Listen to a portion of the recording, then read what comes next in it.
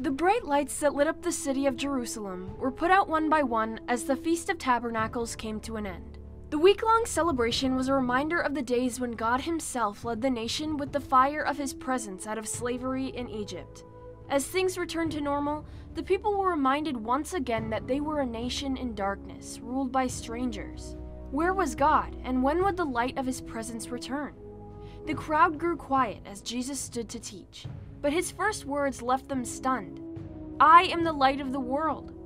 Even though the people were surprised by what He had just said, Jesus continued Whoever follows me will never walk in darkness, but will have the light of life. His claim was bold, backed by the power of God Himself. He was the true source of light, and light who spoke the world into being. He was the light that shined into darkness, and darkness could not stop it. I am the light of the world, he said. Adam and Eve once lived in the Garden of Eden, where God's presence brought them daily joy, happiness, and perfect friendship with each other and God.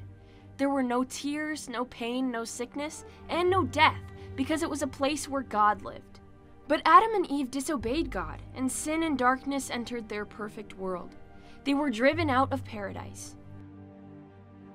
Because of their sin, they and all of humankind after them would experience shame, hopelessness, fear, and the pain of being separated from the light, from the one who breathed them into life. But God had a plan. He would enter into the dark kingdom to save what was lost.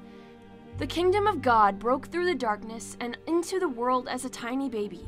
When Jesus was born, the brightest star shined in the sky, telling the world that their Savior had come.